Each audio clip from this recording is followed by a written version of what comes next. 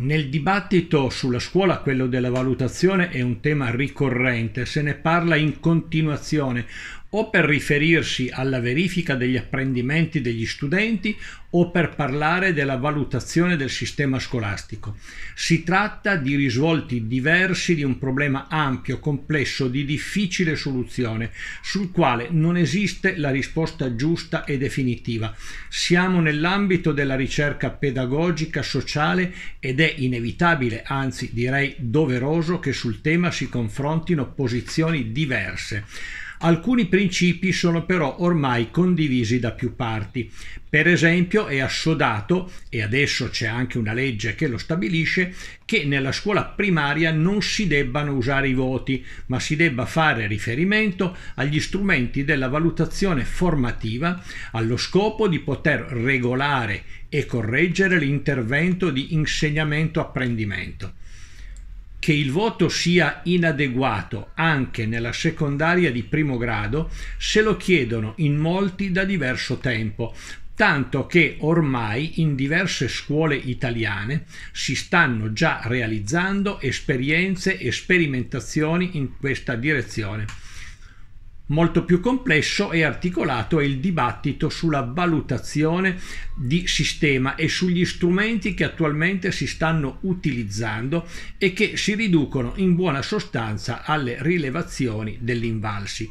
Il tema è complicato e lo si è visto nei giorni scorsi in occasione del dibattito che si è svolto nell'ambito di un convegno organizzato dalla FLC CGL e dall'associazione Proteo Fare Sapere.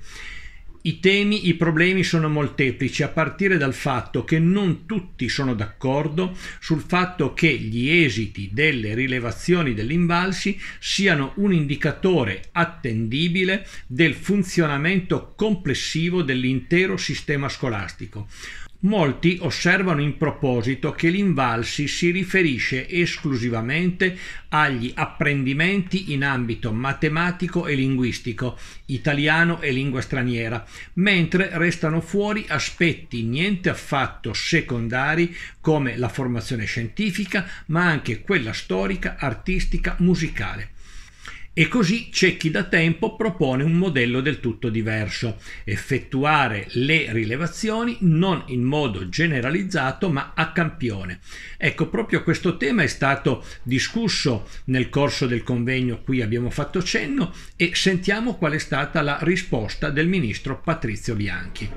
Certo, colgo anche le riflessioni che mi vengono fatte, cioè se in fondo siamo alla ricerca di benchmark il benchmark può essere fatto anche per campione, non soltanto in maniera censuaria.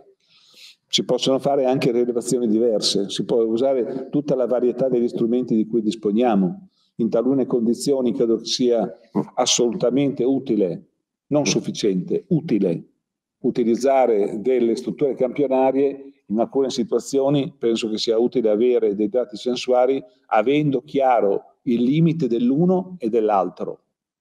Quindi autonomia e sistema nazionale sono i due perni su cui noi ci dobbiamo muovere avendo ben chiaro che comunque occorrono strumenti di valutazione anche dell'azione delle politiche, ovvio, da un soggetto terzo, ma sia ben chiaro anche che dobbiamo avere la cautela, ancora una volta, di avere degli strumenti che dobbiamo riuscire a collocare nel loro effettivo utilizzo nel loro scopo e d'altra parte essere in grado di utilizzare con le capacità e con le cautele con cui tutti noi ci confrontiamo con le realtà che andiamo ad esplorare.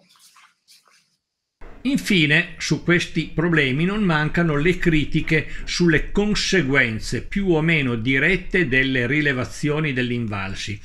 La più sgradevole, sostengono in tanti, è che di fatto gli esiti servono spesso a redigere classifiche e graduatorie di scuole, mentre dovrebbero essere utilizzate per individuare e sostenere le aree e le scuole più in difficoltà ma il problema strutturale più delicato sta proprio nella stessa legge istitutiva del sistema di valutazione, che prevede che per ottenere risultati affidabili si debba fare riferimento a tre pilastri, invalsi, indire e corpo ispettivo. Peccato che ormai gli ispettori siano ridotti a poche decine, mentre ne servirebbero diverse centinaia.